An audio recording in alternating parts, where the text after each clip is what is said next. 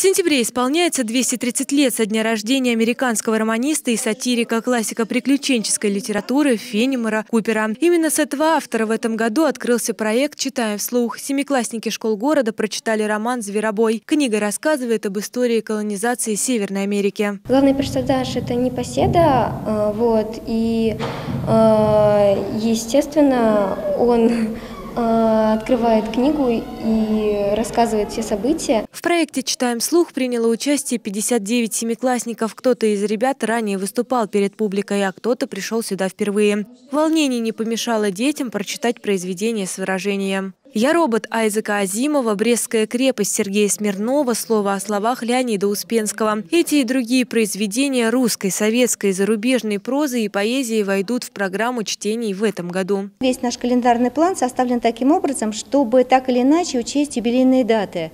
И Ольги Бергольц, и э, Кира Булычева, и еще ряда писателей и поэтов, которые в 2019-2020 году будут ну, их почитатели будут отмечать какие-то юбилеи. Следующая встреча в рамках проекта «Читаем вслух» пройдет в октябре. Пятиклассники школ города прочитают произведение «Путешествие Алисы» Кира Булычева. Ирина Вышегородцева, Артемий Глазков, Александр Мальков. Служба новостей Саров 24.